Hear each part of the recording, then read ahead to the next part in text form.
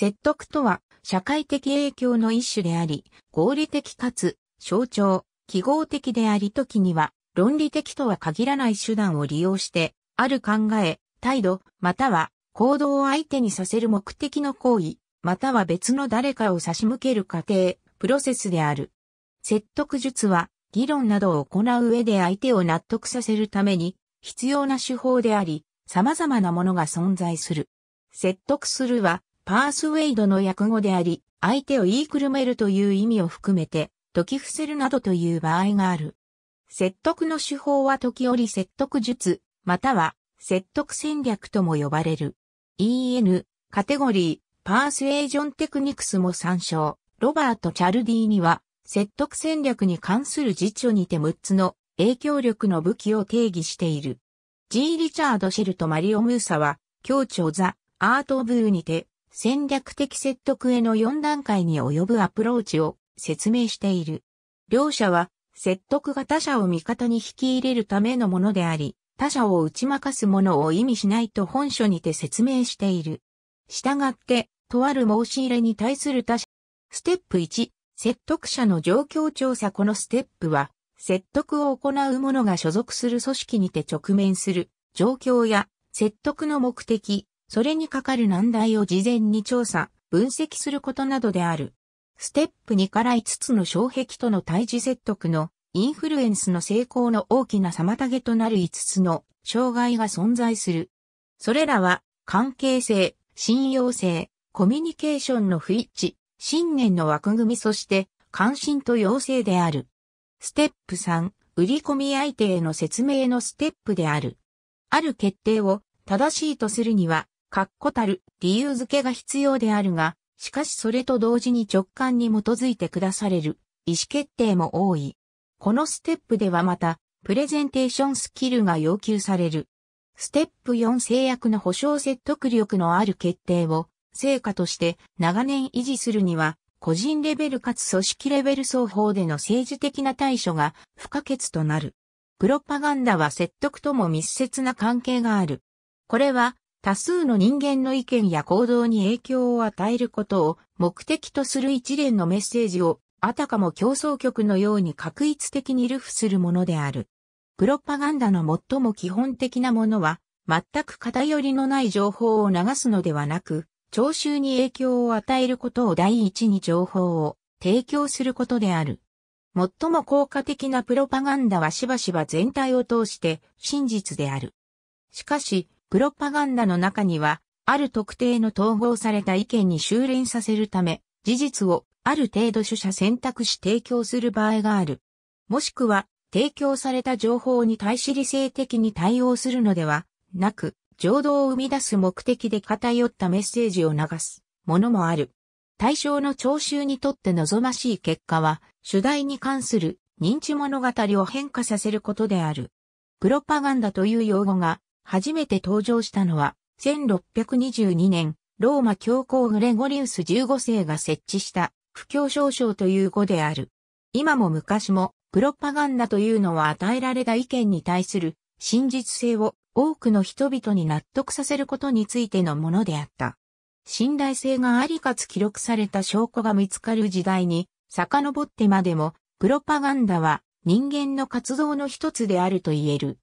ビデオなどの映像機器は閲覧するものが映像に込められたメディアテキストを分析しようとするがためにそのものの視聴覚に働きかける。このことからビデオはプロパガンダを的確に利用するものであると言える。心理学において条件付け、または調教、訓練とは個人の学習に直接影響を与えるある種の行動を実施するプロセスであり、教育と関係がある。条件付けは説得の概念において大きな役割を担っている。条件付けは直接命令を与える、指図することというものではなく、むしろある種の行為を自発的にさせることであると、しばしば例示される。このことは、例えば広告分野の例では、ブランドロゴや製品ロゴに感情的に前向きになるような思考を加える試みが当てはまる。また人を笑わせるコマーシャルを作るような手法も、そのような例に当てはまり、例えば性的な含みを持たせたり、人を高揚させる映像、音楽その他を間に挿入するなどし、最後に製品、ブランドロゴを見せつけてくるようなやり方は印象を強くするものとしてよく議論に上るものである。またこれはプロスポーツアスリートの例にもよく見られる。彼らはその職業、役割に直接関係する可能性のある物品に彼ら自身を関連づけることでその対価を得ている。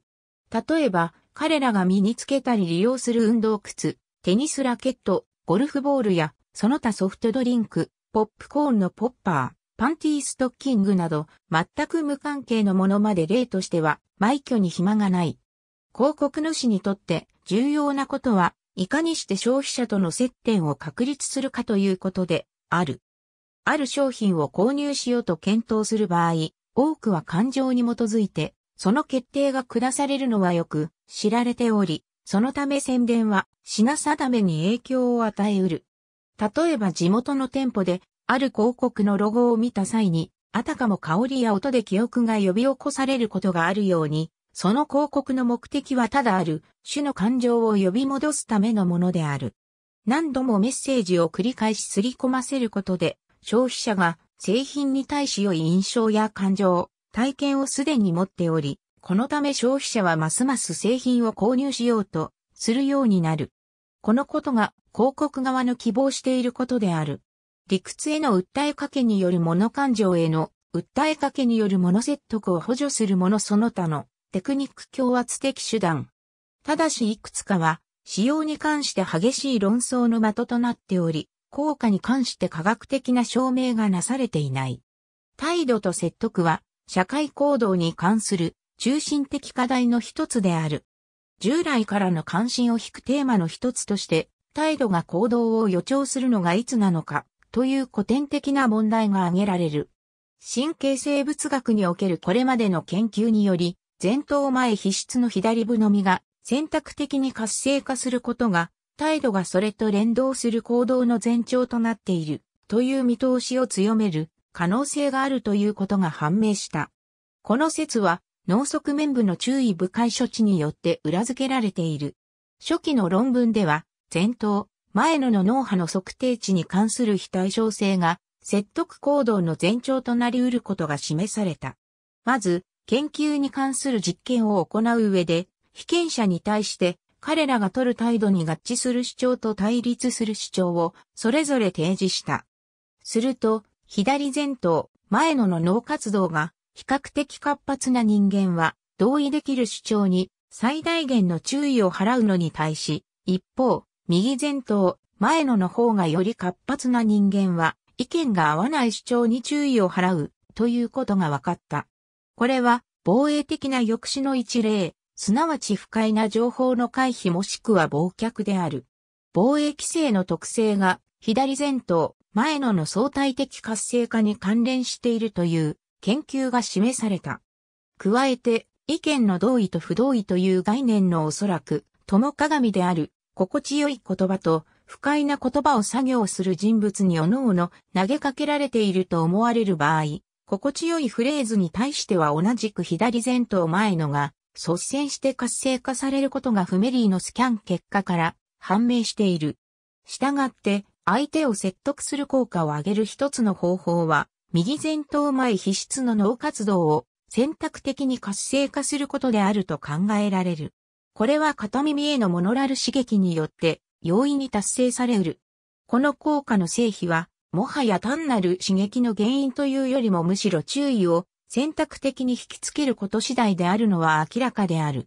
この人心掌握術は期待される結果をもたらした。事実、左側からメッセージを吹き込むことで、説得の効果が増した。このほか、脳活動のサイト、感情や認知行動との関係性を述べた研究並びに論文が存在する。詳しくは、英語版記事 Activation of prefrontal cortex を参照。ありがとうございます。